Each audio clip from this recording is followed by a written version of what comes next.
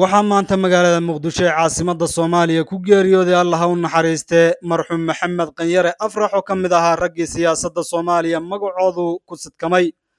Kanyare waxa uu ka tirsanaa saraakiishii mid ka mida jabhadihii xukunka ka tuuray allaha u naxariistee madaxweynihii hore ee soomaaliya maxamed siyaad barre sannadkii kun iyo sagaal boqol sagaashan iyo kowdii oo ahayd jabhaddii u s c.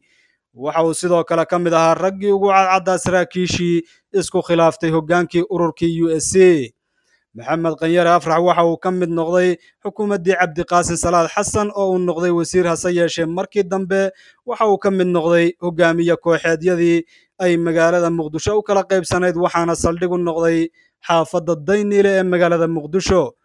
Sannadkii laba kun iyo lixdii waxa uu maxamed kanyare afrax ka mid noqday isbahaysigii la dagaalanka argagixisada ee ay hogaamiye kooxeedyadii samaysteen waxa uu ka mid noqday xukuumaddii cabdulaahi yuusuf axmed oo uu xil wasiir ka qabtay markii xarunteeda ku-meel ay ahayd magaalada baydhabo ee xarunta gobolka baay.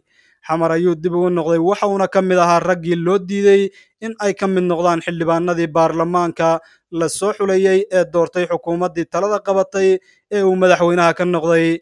Mudane xasan sheekh maxamuud hase yeeshee markii dambe waxa u suurto gashay in uu noqdo xildhibaan ka tirsan golaha baarlamaanka dalka soomaaliya.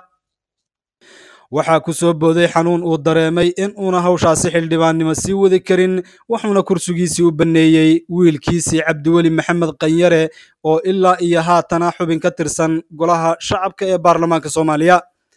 Geerida maxamed kanyare afrax waxaa ehelkiisa uga tacsiyeeyey madaxweynaha qaranka soomaaliya maxamed cabdulaahi farmaajo madaxweynaha jamhuuriyadda federaalka soomaaliya maxamed cabdulaahi farmaajo oo ka hadlayay geerida ku timid maxamed kanyare afrax oo saaka ku geeriyooday isbitaalka digfer ee magaalada muqdisho ayaa tacsi u diray qoyskii iyo qaraabadii uu ka baxay marxuumkaasi.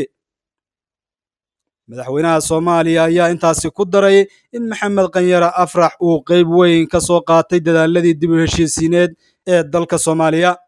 Inna lilaahi wa inna ilayhi raajicuun waxaanu tacsiyeynayaa qoyskii qaraabadii iyo guud ahaanba ummadda soomaaliyeed ee uu ka geeriyooday marxuum maxamed kanyare afrax marxuumku waxa uu qeyb weyn ka soo qaatay dadaaladii dib u heshiisiineed ee dalka ayuu yidhi madaxweynaha soomaaliya maxamed cabdulaahi farmaajo. Maxamed kanyare afrax oo saaka geeriyooday ayaa soo noqday xildhibaan ka tirsan golaha shacabka iyo weliba wasiir amni intaba sidoo kale waxa uu ka soo mid noqday hogaamiye kooxeedyadii soo maray dalka soomaaliya ee la dagaalamayay maxkamadihii islaamiga ahaa. Marxuum kanyare waxa uu siyaasadda soomaaliya caan ka ahaa sannadkii kun iyo sagaal boqol sagaashan iyo kowdii ilaa laba kun iyo saddex iyo tobankii. Maxamed kanyare afrax waxa uu dhashay afartameeyadii qarnigii tegay isaga oo muddo dheer ahaa ganacsade ka shaqaysta dalka kenya halkaasi ayuuna markii dambe ka taageeri jiray jabhaddii ku kacday taliskii maxamed siyaad barre ee u s c. Maxamed waxa uu ahaa guddoomiye ku-xigeenkii jabhaddii u s c ee uu maxamed faarax caydiid guddoomiyaha ka ahaa waxyar kadibna waxay isku dhaceen jenaraal caydiid waxauna ku biiray dowladdii cali mahdi maxamed isaga oo noqday wasiirka arrimaha gudaha ee xukuumaddii cali mahdi. Kanyare waxa uu ahaa hogaamiye kooxeedyadii ugu xoogga badnaa magaalada muqdisho isaga oo ka qayb galay shirar badan oo dib u heshiisiina oo soomaalida loo qabtay kuwaasi oo ka dhacay addis ababa qaahire iyo weliba meelo kale sannadkii laba kun iyo afartii waxa uu ka mid ahaa xildhibaanada sidoo kalena musharaxiintii u tartamayay madaxtinimada soomaaliya ayuu ka mid ahaa isaga oo galay kaalinta saddexaad kadib cabdulaahi axmed cadow iyo cabdulaahi yuusuf axmed oo kaalinta koowaad iyo labaad kala galay.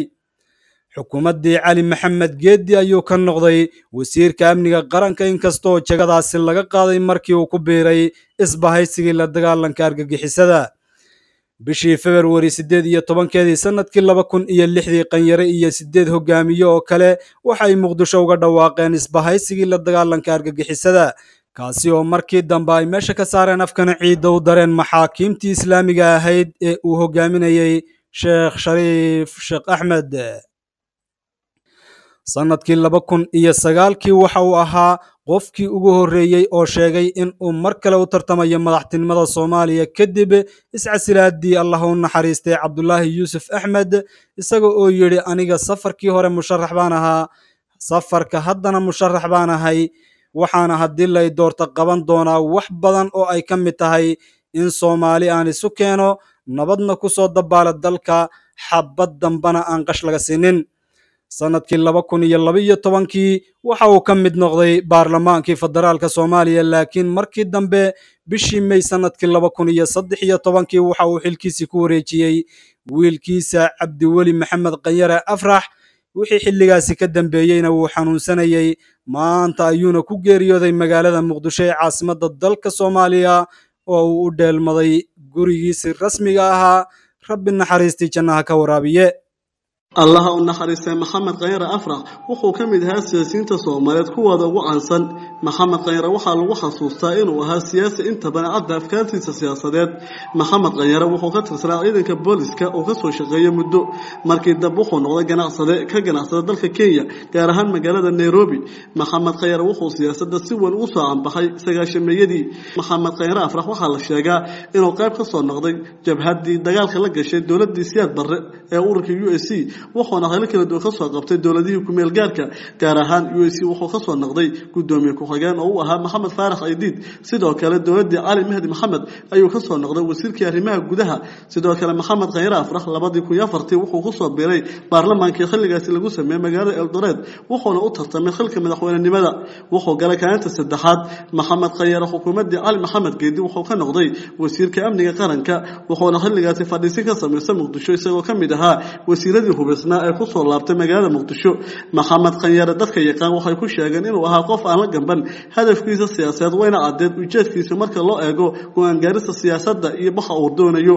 Maxamed khanyare sideed iyo tobankii februari laba kun lixdii wuxuu muqdisho kaga dhawaaqay ururkii isbaysiga la dagaalanka argixisada waxaana dagaal xoogan kala hor yimid madowgii maxaakiimta islaamiga. Khanyare oo hubkiisa ku wareejiyey maxaakiimta wuxuu dib ugu laabtay tuulada diri oo ku dhashay sannadkii kun sagaal boqol afartan iyo kowdii ee ku dhow degmada caalbuur ee gobolka galgaduud maxamed khanyare wuxuu ka soo mid noqday baarlamaankii sagaalaad. Sidoo kalena wuxuu halka ku wareejiyey wiilkiisa cabduli maxamed khanyare ugu dambeyn maanta ayuu ku geeriyooday maxamed khanyare magaalada muqdisho. Cabdinuura siyaad muddo dheer ay is yaqaaneen marxuumka geeriyooday maxamed khanyare afrax waxayna ahaayeen saaxiibo dhow. Goormaad baratay maxamed khanyare muddadaas aan bartay isagoo soomaaliya ka yimid ayaan bartay waxaan ku bartay magaalada mombasa anigoo arday ka ah. Wuxuu ahaa nin aada u weji furan oo aada maaragtay soomaalinimadu ugu weyn tahay oo dadka soo dhoweeya. Sidaas daraaddeed anoo nin yara ayuu wuxuu i weydiiyey maxaad halkan ku joogtaa? Maxaad barataa? Waxbarashada u dadaal waxyaalahaasuu maaragtay igu bogaadiyey. Wixii ka dambeeyey waxa weeye isagoo ganacsado ah oo markaas maaragtay ganacsado wuxuu noqday markaas aada maaragtay wuxuu ku kala socdaan wuxuu yeeshay kambariyo aada u waaweyn. Kabacdi anigu markaas waan iska tegey. Un dalkan maaragtay ka dhoofa kenya. Anigoo maaragtay waxbarashadeydii dhammaystay. Markii dambe aan dalka ku soo noqday waxaan waxaan imid magaalada nairobi. Anoo magaalada nairobi jooga ayaan isku aragnay. Waxaa weeye siddeetan iyo shantii. Wuxuu iga codsaday inaan maaragtay jabhadaha hubaysan ka mid noqdo. Soomaaliyana maanta ay ku socoto hoogbaay waktigii horena waxaan ogaa markii cabdulaahi yuusuf soo fakaday raggii yidhi dalka soomaaliya oo haddeer dagaalkii toddobaatan iyo toddobadii ka soo baxay oo haddeer etoobiya dagaal noogu jirto waxaa weeye cabdulaahi yuusuf wuxuu codsaday in dagaalka lala galo ragga ganacsatada u yaro ka mid ahaa sida aan la socdo wuxuu ka diiday inuu maaragtay dagaalkaas la galo oo waxyaalaha u diiday haa markaas. Oo uu u diidayna waxa weeye soomaaliya in etoobiya loo jabiyo raalli kama noqonayno. Soomaalina kalsoonideeda haddeer isku maaragtay isku cabiran tahay ma ma duminayno. Waan garta. Maxamed khanyare oo la sheego siyaasadiisuna ahayd mid adag islamarkaana go'aankiisa sadaan la gamban ayaan weydiiyey cabdi nuure siyaad marka la eego go'aan qaashada siyaasadda. Wallaahi wuxuu ahaa nin maaragtay u bareera waayo waxyaalaha uu waxaa weeye markuu dareemay dalkii in dhibaatada ka socota iyo waxaas wuxuu noogu yeeray jabhaddii snmta inaan ka mid noqono annagoo soddon iyo toddoba nina ayuu diyaarad naga saaray magaalada nairobi oo ardisababa noo diray sidaasaan ardisababa ku tagnay markaan etoobiya tagnayna waxaan ugu tagnay ibraahim magaag sabantar iyo rag fara badan oo jabhadiiya markaan meeshaas ugu tagnayna haddee dagaalkii jabhadahan galnay kabacdina jabhaddii maaragtay s n m ta gudaheedii baa khilaaf ka yimid khilaafkaas ayaan maaragtay kusoo kala jabnay markaan ku kala jabnayna kabacdi waxaa aas-aasantay la aas-aasay oo dubay iyo lagu aas-aasay talyaaniga jabhaddii u s c. Halkaasuu ka amba qaaday kabacdina ragga maaragtay dhaqaalaha ku bixinayay in dalka isbeddel laga keeno oo maaragtay aada maaragtay ugu xooganaa ayuu ahaa. Waxyaalaha aan ku jeclaa saaxiibka kula ahaa waxaa ka mid ahaa kow waxa weeye nin wadaniyadiisu aada u fog tahay oo dalka aada u jecel buu ahaa waayo dalka askari buu kasoo ahaa oo wuxuu dhihi jiray soomaaliya hadday dowlad saxa oo sharciga ilaalida hesho waxay noqonaysaa dalalka adduunka ugu sarreeya waayo dadkanagu waa dad maskax furan dad maaragtay wax soo saar leh haddii maaragtay la dhiirigeliyo sidaas ayuu maaragtay ayaan maaragtay ku saaxiibnay maxamed khayre oo laba kun saddex iyo tobankii bishii may xilka ku wareejiyay wiilkiisa cabdiweli maxamed khayre oo baarlamaanka xilliga uu ka mid ahaa ayaa muddooyinkii dambe xanuunsanaa kuna sugnaa muqdisho wuxuuna maanta ku geeriyooday magaalada muqdisho. Haddaba xanuunka maxamed khayre ayaa mar kale weydiiyey cabdinuure siyad oo si dhow saaxiib bay u ahaayeen. Ilaahay subxaana qaadir ha u naxariisto jannadii fardowsaaheedna allah ka waraabiyo. Inta ibnul aadanku karo waa intaas inaan dhahno. Waxa weeyo runtii waxa weeye muddooyinkan dambe wuu xanuunsanaa xanuun maaragtay oo aada u sii maaragtay halisana markii hore ma jirin. Kabacdi xalay saakay saddexdii saac iyo barkii ayaa jashiisu timid. Ilaahay subxaana qaadiraha jannadii fardowsaha ka waraabiyo aniguna meeshaas waxaa ii muuqata inaan saaxiib qaaliya oo waxgarad ahaa oo maaragtay tala bixin lahaa oo qaranka iyo dadkaba maaragtay wax fara badan maaragtay ka suurto gelinayay maaragtay toosintiisa ku bogaadin jiray ragga ayaa meeshaas ka baxay. Marka ilaahay waxaan uga rajaynayaa inuu jannadii firdowsaha ilaahay ka waraabiyo. Allaha u naxariistay maxamed khayre afrax oo si weyn kaga muuqda siyaasadda soomaaliya laga soo bilaabo sannadkii kun sagaal boqol sagaashan iyo kowdii ilaa laba kun saddex iyo tobankii ayaa ugu dambeyn maanta ku geeriyooday magaalada muqdisho wuxuuna ka mid ahaa siyaasiyiinta iyo ragga muqdisho sida weyn looga yaqaan marka loo eego burburkii kadib